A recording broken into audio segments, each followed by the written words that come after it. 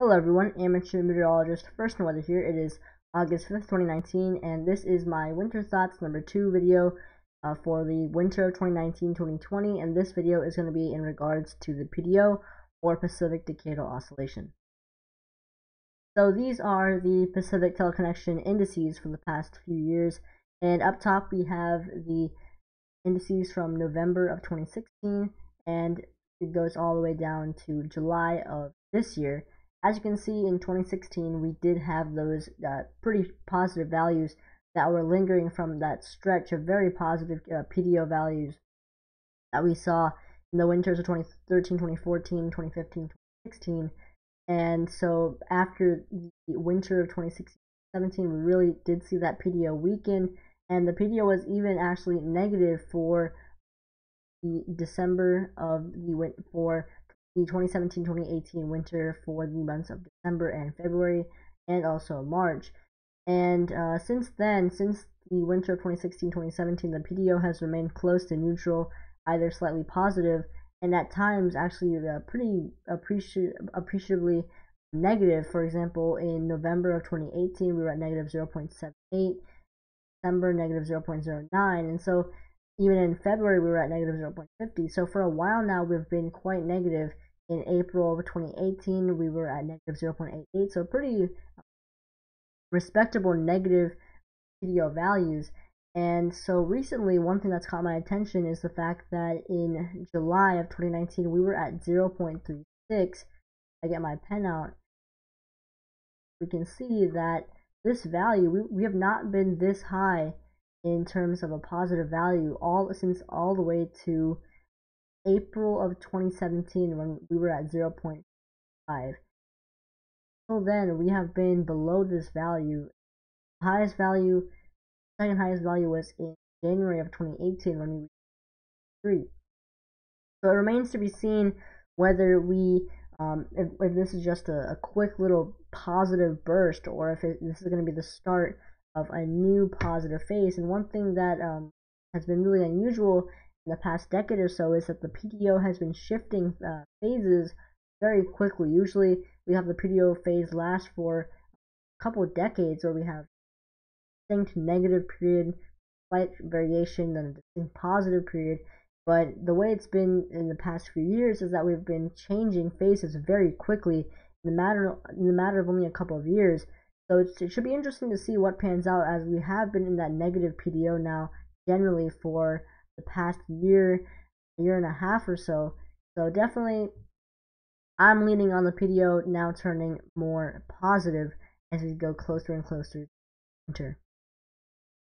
Now this is the NMME forecast, sea surface temperature anomaly forecast for December, January, February of 2019, and this forecast was July. As you can see, you have that distinct horseshoe shape of warmer than average surface temperatures with that particular blob under the um, coast of Alaska, and then these warmer than average sea surface temperatures extending down southwest equator. And so this is not really a very classic uh, positive PDO with that cooler rim uh, that goes like this. This is more of, I would say, a sloppy PDO where we just see a lot of warmth in the Pacific, not really that cool, that nice little cool section, but mostly just average temperatures. However, this this is a clear uh, positive PDO indicator uh, from this model. If this was to verify, we would be seeing PDO values quite respectable.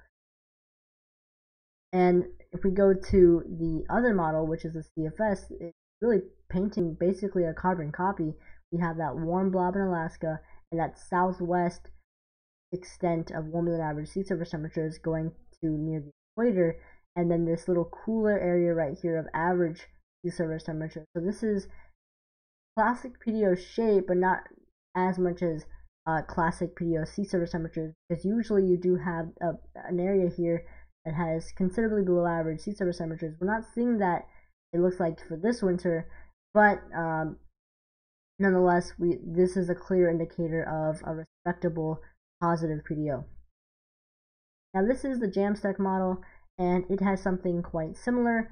It has a warm blob south of Alaska, but closer to uh, western coast of the United States, and then it also has this southwestern sort of uh, extension of warmer than average sea surface temperatures. little cool area right here. So this is interesting that the model is uh, painting a PDO that's more southward and more tilted. So this is something I'll be keeping an eye on. So what is the what are the effects of a positive PDO? Fortunately, I didn't have the time tonight to really go through the analyze by myself and see what happened when um, and see what happens during neutral and positive PDO conditions. I just found some research online that I'm using, and so the, the image to the left right here is uh, daily high temperature maximums during during winters with e, with excuse me a positive PDO.